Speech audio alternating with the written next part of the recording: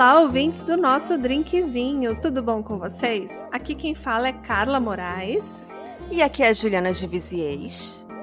E hoje a gente tem mais um caso muito especial para vocês. E hoje a gente vai ter a presença de uma apoiadora do nosso canal. É a Lani, lá do Recife. Oi, Lani! Oi, Carla. Oi, Ju. Tudo bem? Tudo! Ansiosa. A Lani já é fã do nosso drinkzinho há algum tempo e agora também ela é nossa apoiadora. E a gente estava com esse caso aqui na gaveta, já estava com ele há algum tempo querendo gravar. E aí eu falei, vamos chamar alguém, porque esse caso, vou deixar, vou deixar os ouvintes assim chocados, porque ele tem assim aqueles plot twists inacreditáveis, ele é cheio de camadas, do jeito que os ouvintes do drinkzinho adoram. Nossa senhora, já tô tensa. E é um caso da Austrália, né, Carla? Que é bem interessante, que sai um pouquinho daqui dos casos americanos, brasileiros. Então vamos lá para outro lado do mundo contar um caso que poucos ouvintes vão conhecer. De repente, nenhum vai conhecer. De repente, não vou conhecer também. É, e a Lani era super crimezeira, que a gente estava conversando aqui nos bastidores. Mas eu acho que esse ela não conhece. Oh. Também acho que não. Ai, meu Deus, vamos lá.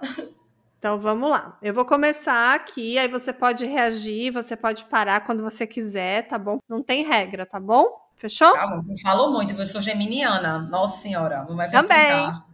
Educada. então vamos lá. A gente vai contar a história da Caroline Watson e do Julian Bushwald. Eles eram dois pombinhos, dois namoradinhos da Austrália, cujas vidas mudaram no ano de 2008. A Carolyn tinha apenas 17 anos e o Julian tinha 25. As duas famílias eram muito cristãs e, apesar ali da diferença de idade entre eles, o relacionamento era aprovado por quase todos ao seu redor. Isso era muito comum naquela comunidade. É, tanto o Julian quanto a Carolyn passavam a maior parte do tempo na igreja, eles eram muito devotos, e o comportamento deles falava muito sobre essa relação que eles tinham com Deus, né? E com a religião e tudo mais. O casal nunca se beijou ou abraçou, na verdade, eles apenas deram as mãos e eles concordaram em adiar todas as demonstrações de afeto até depois do casamento. Acho que isso é muito comum até hoje em dia, né? A gente está falando aí de um caso que aconteceu em 2008, né? Tá? Que é um caso recente. Mas assim, era da, era da, da religião deles, era do costume deles, né? Namorar, aqueles namoricos, né? De pegar na mão e tudo mais. Mas nem beijo na boca eles davam. Apenas mãozinhas dadas. Me confirma qual a idade deles, só para saber, assim, se a, se a gente aqui é muito avançado. Eles têm quantos anos mesmo? Tá, a Carolyn tinha 17 anos Ai, e o Maria. Julian tinha 25. Mas eles eram muito religiosos e o motivo Sim. pelo qual eles não tinham assim intimidade eram motivos religiosos, né? Sim, a religião deles, a família não permitia. Mas assim, tava tudo bem para eles porque eles planejavam se casar em breve. Na verdade, quando a Carolyn fizesse 18 anos e terminasse a escola, o plano era do casal se casar e finalmente ter tudo que um casal tem e ter, ter as, as demonstrações de afeto e beijo e abraço e tudo isso, né? Então eles planejavam muito em breve oficializar esse relacionamento. Então, para as famílias, até então é o melhor dos mundos, né? Porque ambos têm a mesma. É, é, tá. O que, é que aconteceu com esse povo, pelo amor de Deus? Vamos lá. E assim, eu sei que a Lani tá curiosa aí do outro lado, né? Querendo saber aí para onde essa história vai levar, porque realmente parece uma história de amor muito bonita, é, mas alguma coisa vai acontecer. Na verdade, vai acontecer um sequestro insanamente bizarro que se transformou numa caçada internacional.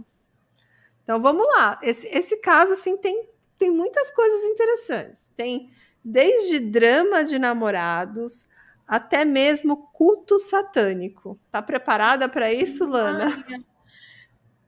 É, é, é, vamos lá, vamos lá. Vamos lá. Sinto que ela está perdida. É, sinto que eu não estou, ainda não liguei os, os pontos de como vamos chegar com esse casal tão apaixonado, dando tudo certo. Não é? Então vamos lá, Ju. Muito religiosos e focados, Caroline e Julian seguiam orando vigorosamente, estudando muito e esperando tão sonhado casamento. O casal de pombinhos passava o tempo fazendo caminhadas e piqueniques, passeios de casal de namorados, mas sempre com regras muito rígidas e quase sempre sobre o olhar dos pais, mas às vezes se aventuravam dirigindo pela cidade. E no dia 4 de março de 2008, começou como um dia normal, que teria um passeio e iria terminar com um piquenique romântico. A família de Julian tinha uma propriedade com cachoeira e ele queria levar a namorada para lá. E embora a região fosse pitoresca e romântica, era a Austrália rural. As noites podem ser muito perigosas. Existem cobras, aranhas, cangurus, todos capazes de atacar uma pessoa violentamente. Então, planejaram voltar para casa às 15 horas, antes do pôr do sol. Julian pegou Caroline e eles dirigiram até a cachoeira. Eles eram tagarelas, alegres e felizes. Parecia um encontro divertido. Tá tudo muito bom, né? É, tô Filha. achando tão lindo. Tô achando. Tô parecendo um conto de amor até então. Isso é um podcast de amor, gente. É, a gente mudou agora. É, amor, drink com amor. Não tem mais crime. Vou dizer até a minhas amigas que não gostam de crime, venham assistir, que a, que a história é linda. Pelo menos nos primeiros minutos. Então a gente já vai avisar que não é uma história de amor. Por enquanto é, mas não vai ser mais. Meu Deus, já tô achando que é esse menino. Mas vamos lá. Eles estavam dirigindo a caminho ali do local do piquenique quando o Julian parou o carro. O Julian era aquele cara que gostava de caçar, gostava de pegar animais, e ele viu um animal morto na beira da estrada. E ele decidiu parar para ver o que, que era.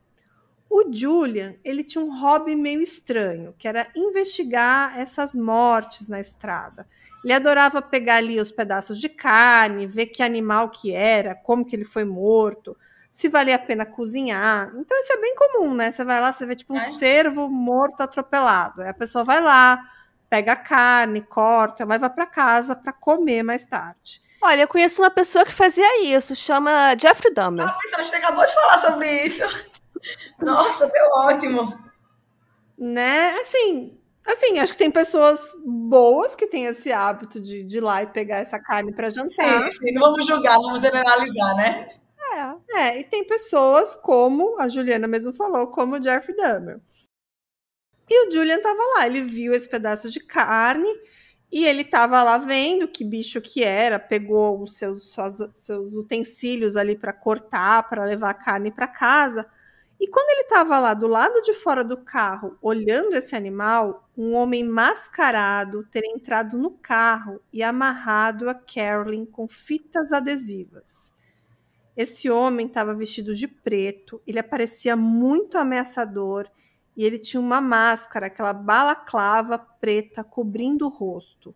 E ele puxou a Carolyn para fora do carro, jogou ela no chão e ameaçou ela com uma faca afiada. Nossa, eu não sei por que eu tô achando que tem cheiro desse menino. Como? Do, Def, do Jeffrey Dahmer? Não, tô hum. achando que é, que é o namorado. Não tô, tô sentindo a energia hum. dele. Será que eu tô, tô errada? Hum, vamos continuar. Vai, vamos. Alguém puxou ela para fora do carro, jogou ela no chão e ameaçou ela com uma faca afiada Enquanto a Carolyn se preparava para o pior, ele cortou as suas roupas e deixou ela lá e ficou observando ela nua, jogada no chão e desesperada ali por alguns minutos. Depois ele pegou a Carolyn, colocou no porta-malas do carro, mas antes ele teria tirado todas as suas peças de roupa, jogou ela, trancou ela no porta-malas e partiu com pressa. E estava muito frio naquela noite, estava congelando e a Carolyn estava nua. E, e, o namoradinho dela ficou lá. Esqueci o nome dele. Isso. Enquanto isso, né, o namorado, o Julian, teria ficado no local, no meio da estrada, enquanto a sua namorada era sequestrada. O sequestrador dirigiu por um longo tempo e, quando o carro parou, Carolyn estava cansada e apavorada. Carolyn não sabia por que foi sequestrada, quem a sequestrou ou onde ela estava. Ela também estava preocupada com o namorado, que estava sozinho numa estrada isolada e rodeado pela floresta.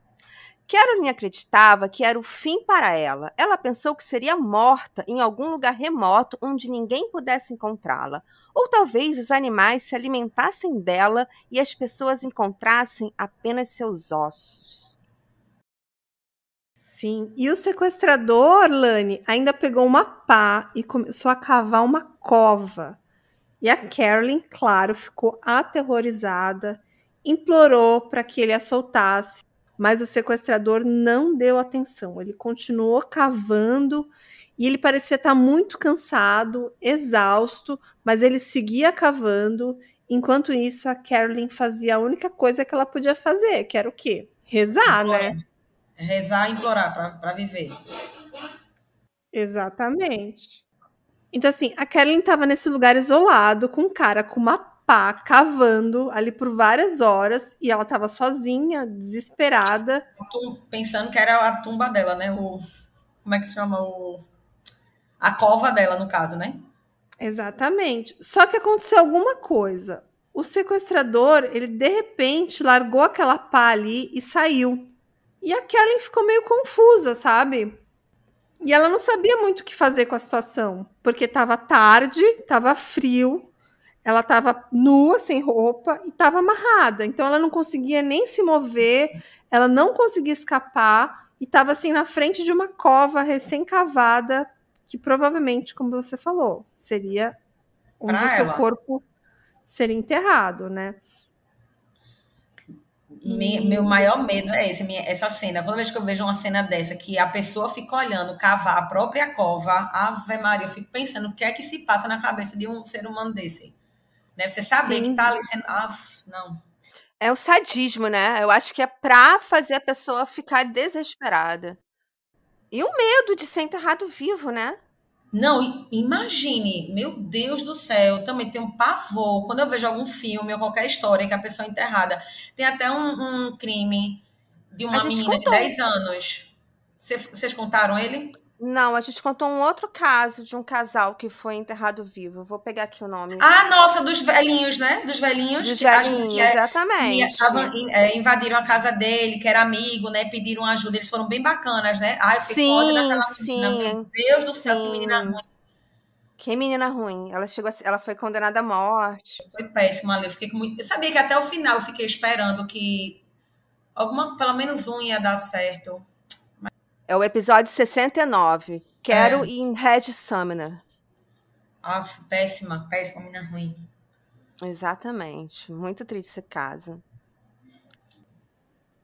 Bom, relembrando só para você lembrar. Então ela estava lá nua, amarrada, com uma cova na frente, recém-cavada, mas ela não conseguia escapar nem correr, né? E ela ficou lá como uma isca, né? Tipo, presa sem conseguir escapar.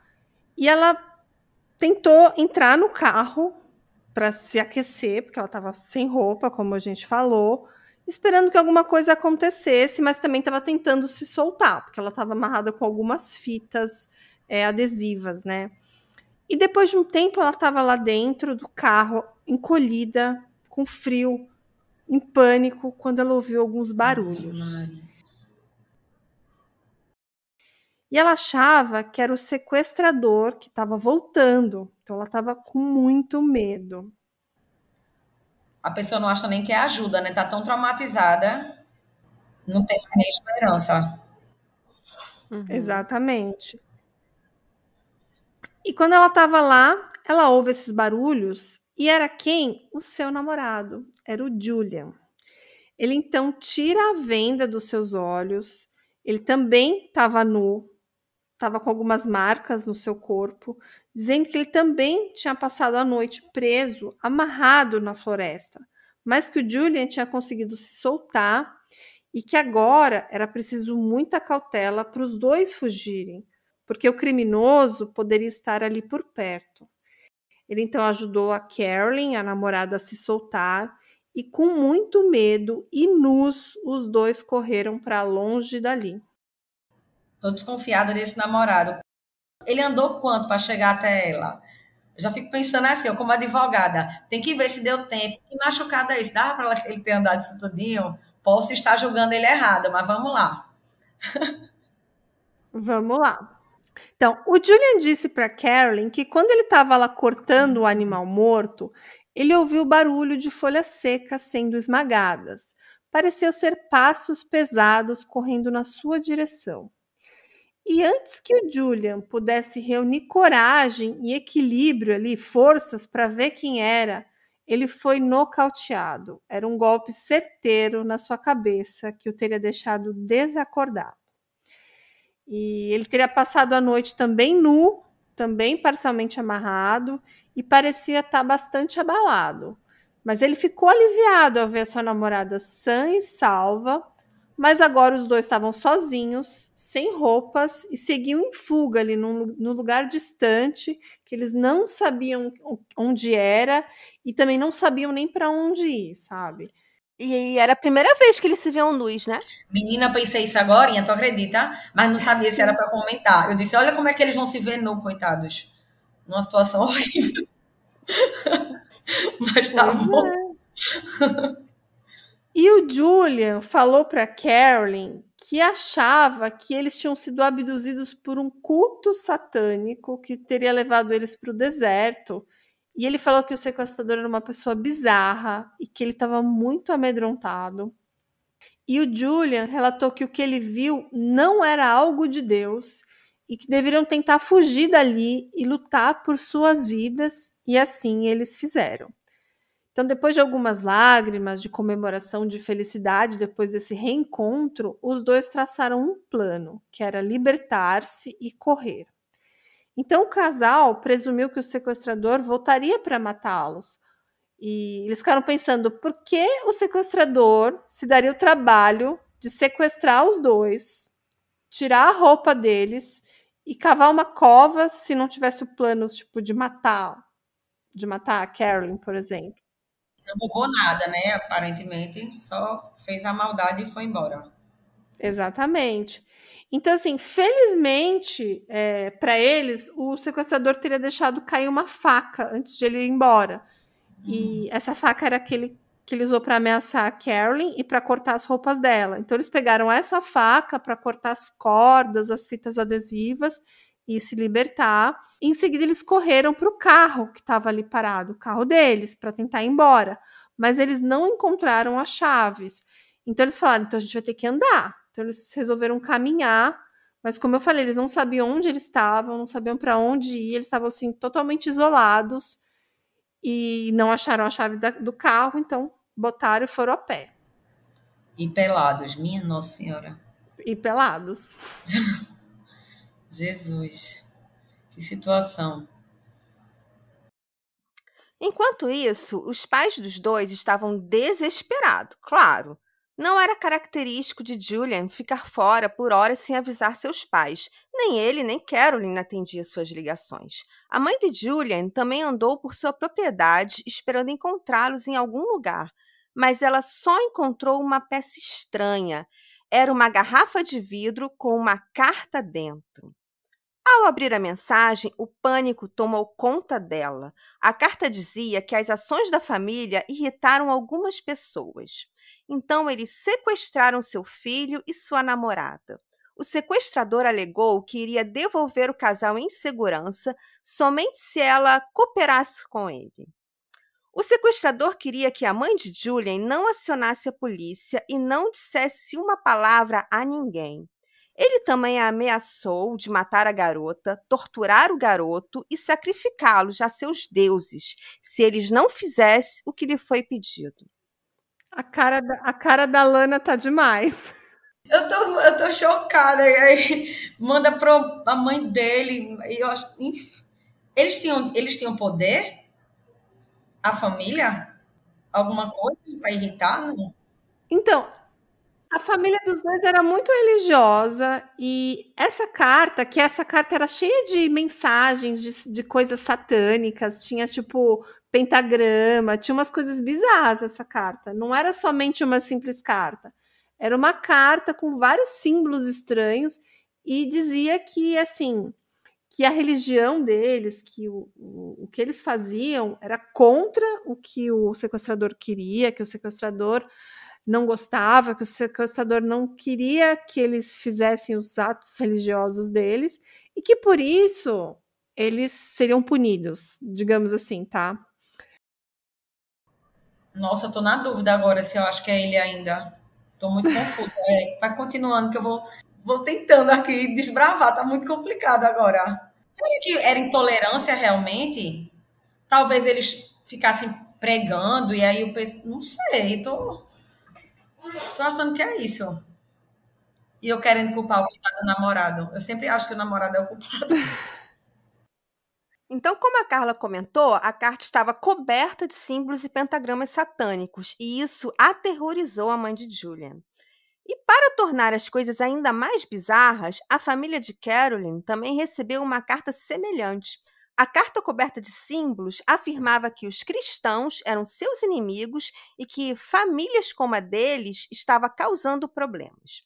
Apesar das ameaças, a mãe de Julian foi imediatamente à polícia e começaram as buscas pelo casal. Bom, a primeira coisa que a polícia fez foi ir até a igreja que eles frequentavam para saber mais sobre as famílias. Afinal, eles passavam a maior parte do tempo ali na igreja. Mas o pastor tinha um ponto de vista diferente. Ele acreditava que a história de Satanás, a história de mensagens ali satânicas no, na carta, não tinha nada a ver, que era apenas um disfarce. O pastor disse casualmente ali para a polícia que acreditava que o Julian e a Carolyn haviam fugido para ficarem juntos.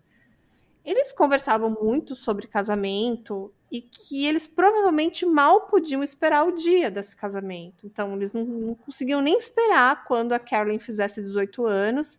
Então, ele achava que uma fuga era algo possível aí, que eles tinham tramado essa fuga. Além disso, o pastor presenciou várias vezes o casal apaixonado discutir sobre quando casar, porque o Julian queria se casar rapidamente, mas a Carolyn queria terminar os estudos, queria terminar tudo que ela tinha que fazer na escola, se formar, para depois finalmente se casar e, e ter aquela vida de casal. Sensata, né? Uma menina sensata. Exatamente. Bem sensata ela. Assim, mas de qualquer maneira, é, essa história que o pastor achava que era um disfarce, que era alguma coisa que eles estavam tramando entre eles, não fazia muito sentido para a polícia, porque eles pensaram assim: por que, que o casal precisaria de uma história tão elaborada? Porque a Carolyn faria 18 anos em poucos meses, então eles não, não precisariam esperar muito para esse casamento, né? Então, assim, na cabeça deles uma fuga não fazia tanto sentido. É, deu trabalho. Você falou, eu também estava pensando, quando fazia, tudo vai fazendo sentido. Cada, cada pessoa que fala uma coisa faz um sentido. Quando ele falou, pode ser um plano deles, eu já tinha pensado que podia ser, mas realmente um plano muito elaborado para uma coisa que não precisaria, né? Já que eles poderiam casar em breve. E ela, pelo que eu estou entendendo, nem queria casar tão rápido assim. Só se fosse ele que estivesse no pé dela. Não sei, vamos uhum. lá. A polícia precisava desesperadamente de respostas, que levaram uma semana para serem obtidas. Julian e Caroline estavam num local muito isolado e tiveram que caminhar por dias até chegarem a uma fazenda. Eles estavam em péssimo estado queimados de sol, desnutridos e desidratados. Ambos apresentavam bolhas e cortes por todo o corpo. O fazendeiro os encontrou e levou imediatamente ao hospital, onde a polícia e seus familiares foram informados. A polícia interrogou Julian e Caroline e eles contaram a história maluca. Embora Julian não se lembrasse muito, Caroline contou a eles todos os detalhes.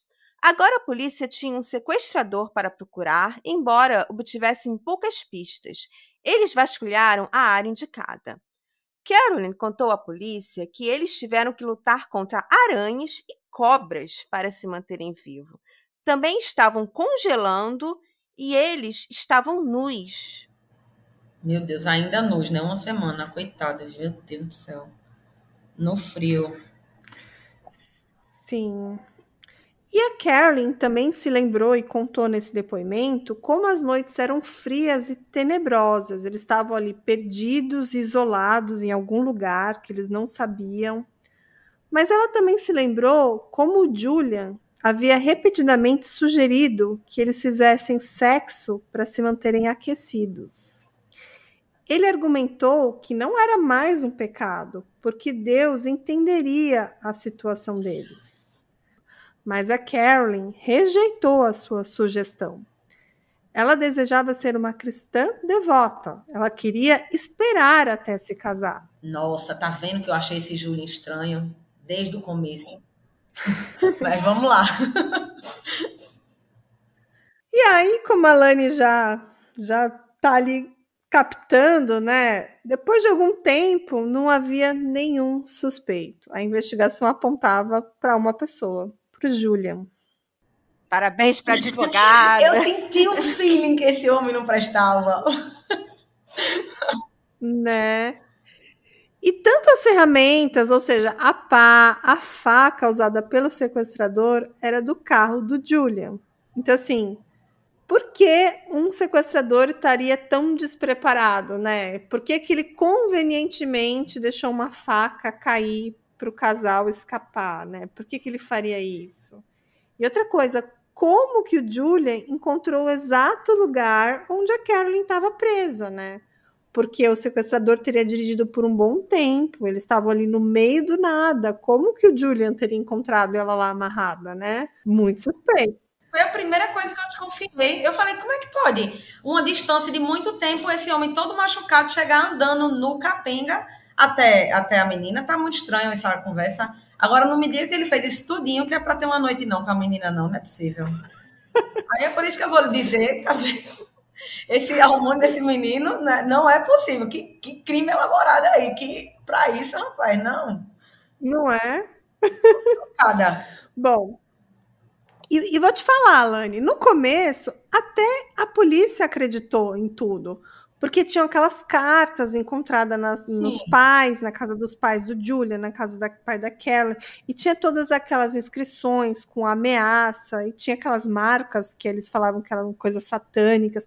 Então, assim, no primeiro momento, até fez sentido essa história que eles contaram.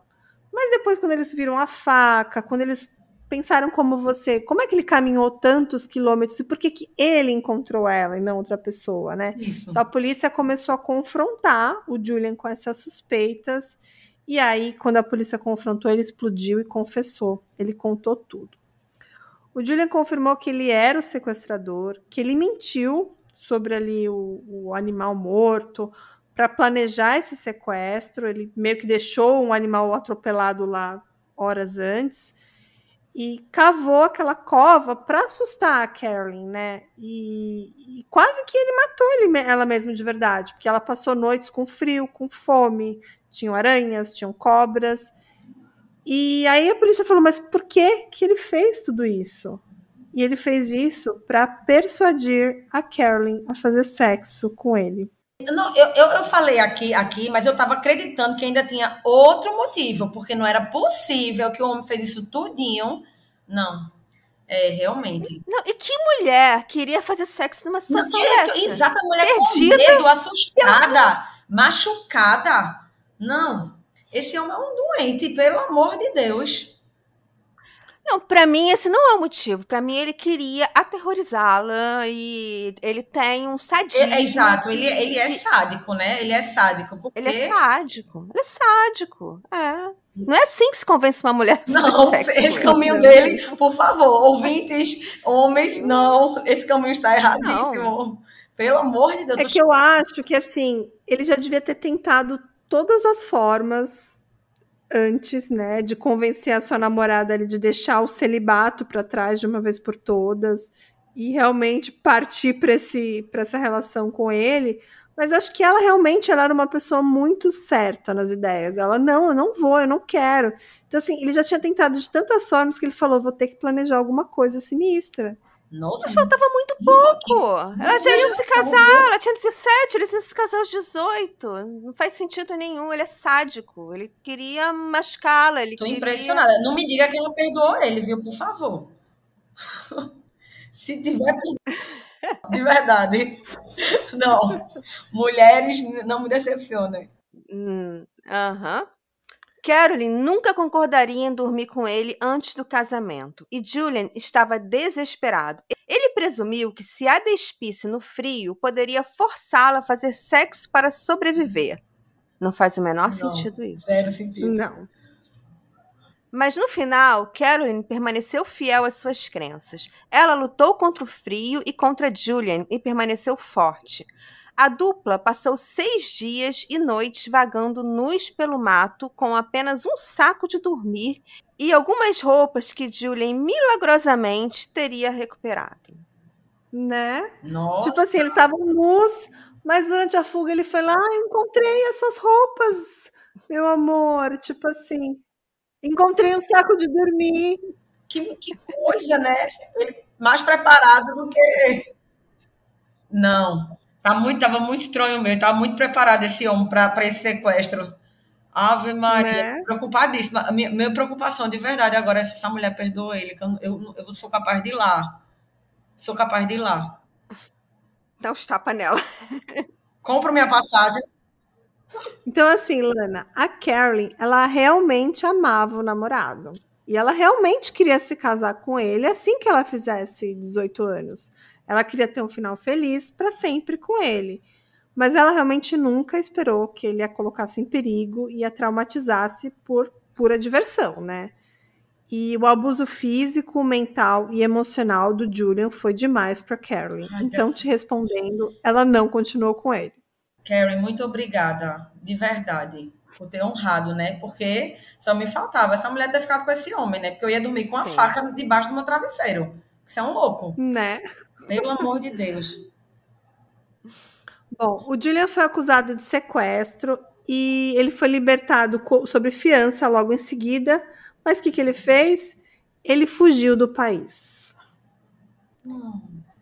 E agora vem a parte mais bizarra desse caso. Porque o Julian, ele pintou o cabelo, ele se bronzeou e ele conseguiu um passaporte falso e ele fugiu para a Índia.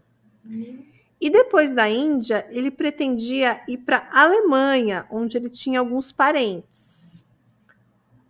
O tribunal, durante as investigações, descobriu mais tarde que ele havia obtido um passaporte indiano falso, tingido o cabelo de preto, escurecido as sobrancelhas, para fugir da polícia e para se misturar entre os locais.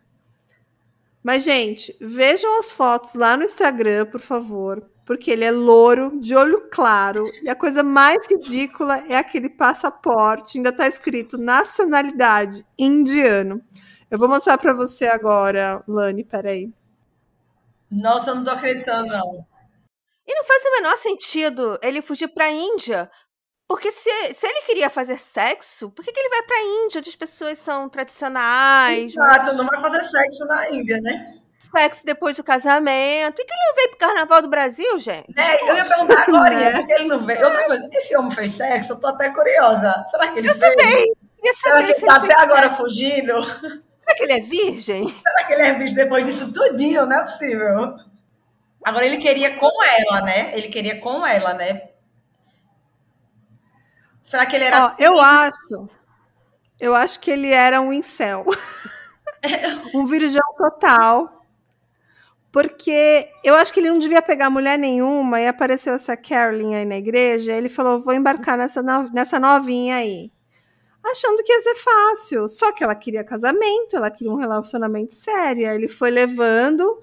Mas no fundo, no fundo, acho que ele não queria casar com ela. Ele só queria realmente fazer o É. do sexo com ela. Era. Era. Eu acho que sim. Porque se ele Faz quisesse sentido. casar com ela, depois do que ele fez, não dizendo que tá certo que ele, o que ele fez, mas diante do que ele fez, se era tão desesperador para ele, ele até traía ela, eu acho. Não é? Ele poderia ter traído, é. se for o caso, ela não quer, porque ele praticamente matar a menina, então eu acho que é mais realmente por aí mesmo. Eu acho que ele queria, eu acho que ele ficou focado nela, em resolver com ela, e talvez depois até dar um chute nela, né? Dizer, ó, tchau, Vai saber, né? passa aí, que eu já me resolvi aqui contigo. Tô chocada. Menina, eu falou esse nome desse homem, eu sabia, eu fiquei sentindo. Depois eu fiquei até me sentindo má. Porque eu disse, eu já tô julgando, mas é isso mesmo. Minha Mas nossa. uma coisa que você falou que eu fiquei pensando, ele poderia fazer igual aquele Travis Alexander, sabe? Do caso da Jodie Arias, que era todo religioso lá, mas que por baixo do pano transava com todo mundo.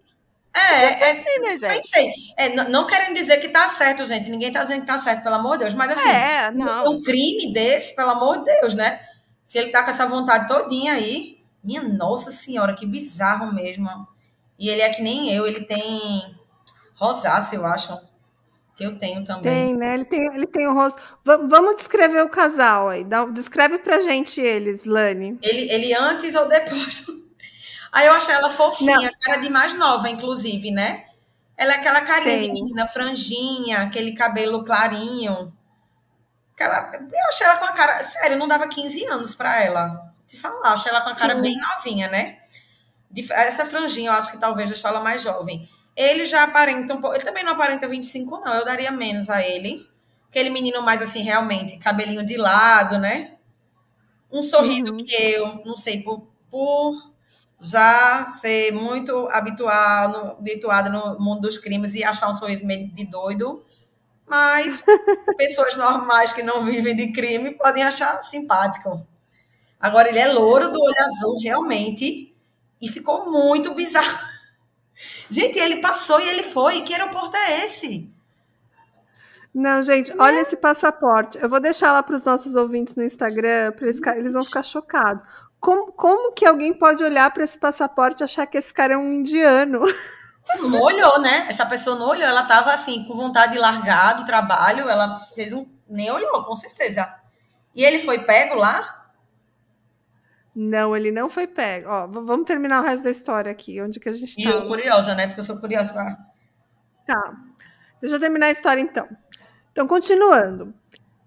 Isso levou a uma busca internacional e ele, ele realmente ele foi preso um pouco depois pelas autoridades indianas, mas que já tinham algumas pistas que ele já estava por lá. E ele foi então de volta deportado para a Austrália, onde ele foi julgado e condenado. O juiz sentenciou o Julian a sete anos e nove meses de prisão pelo sequestro de Carolyn, e ele também pegou mais seis meses por ter fugido do país. Foi pouco, né? Seis meses. Fugi. Sim. É, ele ficou aí seis anos e meio, né, atrás das grades. Esse caso aconteceu aí em 2008. Então, desde 2017 ele já está solto. E a gente não sabe muito do paradeiro dele, tá? Eu pesquisei, tentei encontrar, mas eu acho que ele deve usar um outro nome. Ele não deve mais morar mais no local lá. Será que ela casou? Ela superou Sim, ela se casou novamente, mas também não tem muita informação. Eu cheguei a ver que ela se casou novamente, que ela superou isso, né? Mas que ela realmente ficou um bom tempo traumatizada. Porque imagina, ela era uma adolescente de 17 anos, né? E passar Nossa, por tudo isso, por um, por um pervertido, né? Por um quase que um maníaco sexual, porque ele praticamente forçou ela. Talvez ele não forçou fisicamente, mas ele induziu ela com essa mentira, com essa história a gente tem que fazer. Imagina que loucura! Ele falou para ela que eles tinham que fazer sexo para eles se aquecerem, porque estava muito frio. Uma loucura, né? Já se vê que ele não entende nada de mulher, né? Meu Deus do céu. Não. Eita, por isso que eu acho que ele não conseguia. Teve que pegar uma é, como ela também, que devia ser inexperiente, né? Novinha, nunca devia ter namorado. Porque vejam como ele achar que uma mulher. Eu digo aqui pra gente, eu. É, já, vocês são mães também, né? Que vocês falam no. no uhum. Eu também sou mãe, a gente no dia a dia, tudinho já, enfim. Como é que ele. Um homem pensa que vai fazer sexo com a mulher desse jeito? A gente tudo. Não. Tudo bem, só fosse ela novinha. Né, tem todo um preparativo, gente. É Meninas, isso. tem todo umas preliminares. Não é assim. Até para ela, eu acho que ia ser a primeira vez, ela devia querer uma coisa especial, né? Uma coisa romântica, que né? a gente, é mais- que a gente vive cansada, né, do dia a dia. A gente já é outro patamar, mas para ela devia ser uma coisa especial que ela ia querer, né? Tu acha que a menina com medo, ô meu filho, pelo amor de Deus. Esse aí é muito amador mesmo. Meninas, eu, eu tô aqui pensando, será que na prisão ele conseguiu transar?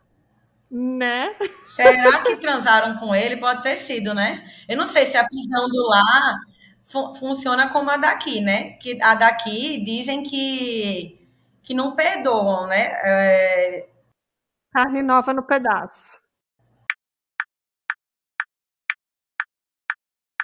É, e eu vou explicar agora, Lani, por que, que eu resolvi contar esse caso aqui, que estava aqui na minha gaveta já há algum tempo que eu já conhecia esse caso. Primeiro, que é um caso muito bom, né?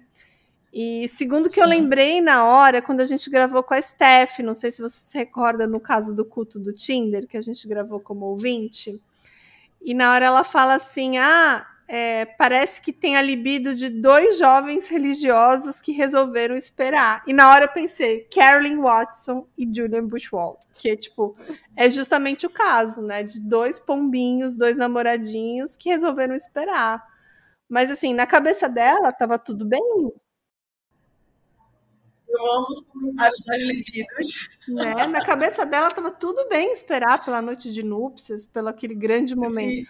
Mas na cabeça dele, não. O cara tava ali e criou esse plano maluco simplesmente pra transar com ela. Essa é a grande verdade. Transar, Maluco e burro. E burro. Burro, muito burro. Esse foi um dos mais bizarros que eu encontrei. Eu já vi toda a motivação, mas esse, ele realmente está de parabéns, viu? Mas eu estou feliz que pelo menos ela teve uma segunda chance, né? Sim. Ela tá viva. Ele não, na minha opinião, ele não pagou como, devi, como deveria, enfim, mas as penas a gente, infelizmente, é isso aí que as leis, enfim, não dá para discutir isso, mas estou feliz que ela tá viva, né? Com certeza. Pelo menos ela passou realmente é um trauma. Uhum. Só Deus sabe se essa mulher se recuperou, Sim. né, psicologicamente falando. Uhum. Mas se ela reconstruiu a vida, já é uma coisa muito boa. Com certeza. E eu também trouxe esse caso, Lani, porque a gente está contando casos muito pesadões, né? Muito gore. A gente contou caso de canibalismo, caso de culto, de assassinato, de homicídio, só tragédia. Então eu falei assim: vou trazer um caso levinho, sem nada muito sangrento, sem nenhuma morte. E como você falou, né? Apesar Sem de morte. Apesar de todo o trauma que a Carolyn passou, ela tá viva e aparentemente tá bem. Acho que é isso que é para dar uma aliviada, pra gente estar trazendo muito caso Pra dar pesado, um- né, A Ju? gente saber que é, nem tudo É. termina tão ruim, né? É. Pra gente dar uma aliviada, porque a gente Sim. só tá contando caso pesadão. Demais. Né, Ju? Eu, eu gostei do, do- Eu gostei do. Eu vou até olhar aqui qual foi, que eu vou indicar. Dos policiais. Ah, vai ser maravilhoso. Sim, o quarteto. Eu o falava quarteto muito da fatal. das policiais. Eu ri demais naquele caso. Olha, Deus me perdoe, mas eu ficava. Sim, gente. Nossa, como essa mulher consegue, Senhor! Né? Eu acho que o Drink com Crime é o único podcast que fala de libido. É, fala, só- eu, achei, eu lembro quando ela falou essa frase, você falou, achei engraçado, que eu ri na hora que ela falou. Tá com a libido, eu, eu- na hora eu fiquei rindo, eu disse, verdade. Não é? E é, pessoal, que esses casos seus, pelo amor de Deus, Não é? o pessoal não é desse mundo, não. Tá todo mundo com a libido lá em cima, né? Eu tô preparando um que eu acho que vai ser o próximo depois desse. Hum. Que parece enredo de filme. Ah. Não é to- E tanto que virou uma série. Hum. E não é muito conhecida no Brasil. Mas parece enredo de filme. Começa com uma história assim que você acha assim, ah, já vi um- várias histórias parecidas. Mas o negócio vai escalando, você fica assim, gente, que coisa louca! Louca, completamente Curiosa. louca. Então, aguardem. É. aguardem. Olha, eu esperando, demora muito para chegar de um pro outro, eu fico ansiosa. Todo dia tem que ter um. Não, a gente fica ansiosa escrevendo, imagina os ouvintes. Então a gente dá spoiler, que é pra galera apoiar a gente, pra, porque dá muito trabalho fazer esses casos pra vocês. Você vê que a gente Sim, A gente vai a fundo, a gente traz aqueles assim, ó, esse aqui ninguém contou. A gente dá pesquisa para ver se os outros podcasts não contaram. E, e para quem gosta do nosso drinkzinho, também pode fazer como a Lani, pode fazer o quê? Um happy hour com a gente, que é ouvir os casos especiais para apoiador, que é lá no Orelo, né, Ju? Sim, e vocês podem nos apoiar por ela, que é a única plataforma que apoia os criadores de conteúdo por clique. Sim, e aí já vai Gente, ter esse vai ter o, apoiem. sim, já tem o caso exclusivo de janeiro e vai ter o caso exclusivo de fevereiro aí nos próximos dias, então um por mês só para apoiadores. Então assim, imperdível. É, apoiem as meninas, a gente que é viciado, por favor, não podemos perder o podcast. Sim. Não é não? É mais barato do que televisão e cinema. Sim, é mais barato Mais que uma barato. caipirinha, é mais Ó. barato que um shotzinho de drink, então o drinkzinho vale a pena. Com certeza, aqui, então, nos bares daqui, que são caríssimos, viu? Os drinks é bem mais barato. Com certeza. Então, vou falar as fontes do caso de hoje. Eu pesquisei no Medium, no Herald Sun Australia, no ABC News Australia e acho que é isso, Ju. O que, que você achou do caso de hoje, Juliana? Adorei. Mais um caso bizarro que a Carla traz pra gente. É, com um finalzinho feliz. Não tão, não Sim. assim, não tão feliz, mas não teve mortes, não teve sangue, né? Não teve sangue. Teve, foi loucura. Tô impressionada. Total, Essa Loucura total e burrice. né? E Total. burrice. É, loucura com burrice. Até onde vai, né? É o Tô famoso- chocada. Por que, que não guarda um negócio dentro da calça, meu filho? Espera a hora. Vai assistir Eu o vou filme. levar esse. Vou levar para mesa de bar esse caso. Vou levar. Vocês, Bom. gente, vocês acreditam num negócio desse? Esse caso é muito bom pra gente levar. pra mesa de bar. é. Podia ter comprado uma boneca inflável, podia É ter visto um pornô, né, eu já gente? pensei em um bocado, porque eu não quero falar, né? Que fico com vergonha, mas pensei em tanta coisa pra esse homem fazer, meu Deus. Não é. Tinha que ter terminado assim. Eu, eu só não posso dizer que ele destruiu a vida dele porque ele já tá solto, né? Mas perdeu alguns anos, né? Pois é. É. E essa fuga dele, gente, vestido de indiano. Bizarro. Índia, gente, quisesse transar, porque foi pra, vai pro Brasil, Não, não pra é isso. divertido, caliente. Ele podia ter vindo pra cá em fevereiro, ele resolvia isso. Nossa, rapidinho. É. Certeza. Ia ter- apareceu um gringo desse no Rio de Janeiro, ia ter 20 querendo dar pra ele. É. Oxe, meu Deus do céu, basta ver que é gringo, meu filho. É, se ele vir- eu até levava ele para conhecer aqui mas depois dessa história toda de abuso dele, não quero saber dele. Não, Mas também não. se eu soubesse antes que ele fosse uma pessoa de boa, vê, não precisava disso tudo, né? Apresentava a galera, né? É Levava pro carnaval. Né? Dava uma caipirinha. Nada que 200 reais aqui na, na Baixa Augusta não resolva. Não eu é? pensei isso. Eu disse, meu Deus, ele, ó, nada que os dólares dele não resolvessem, mas tá bom, né? Se ele. Se ele né, vamos deixar quieto. Deixa ele abaixo, escolheu o melhor para ele. Meninas, Verdade. adorei, adorei contar o caso de hoje. A Adorei Ilane é uma fofa, uma querida. Vou convidar ela mais vezes. E faça como a eu Ilane. Divulgue nosso canal para seus amigos, comenta, compartilha, porque a gente faz isso aqui com muito carinho e toda terça-feira tem episódio novo. E a gente vai ter as fotos desse caso, as fotos dele, do passaporte dele e mais imagens desse caso lá no nosso Instagram, que é o arroba Drink com Crime. Então a gente vê semana que vem, pessoal. Grande beijo. Tchau, Ju. Tchau, Lani. Tchau. Beijo, gente. Obrigada. Amei participar. Aê, adorei. Beijão. Beijos. Adorei. Parar de gravar aqui.